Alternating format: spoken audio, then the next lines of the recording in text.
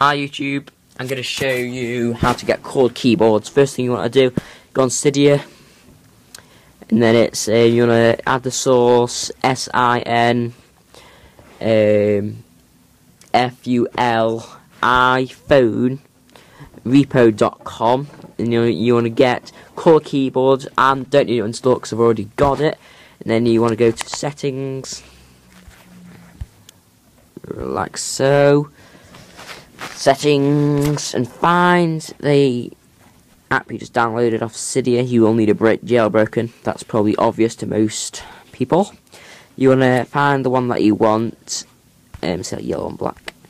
And then what what you want to do is you want to click save and then respring it. I will make a. I will be back when I have resprung. I'm back from the um, a little bit ago where I was just doing showing you how to get custom keyboards and you can see yellow and black like a bumblebee. Does work. And that's it YouTube. Rate comment and sub. Smack the like button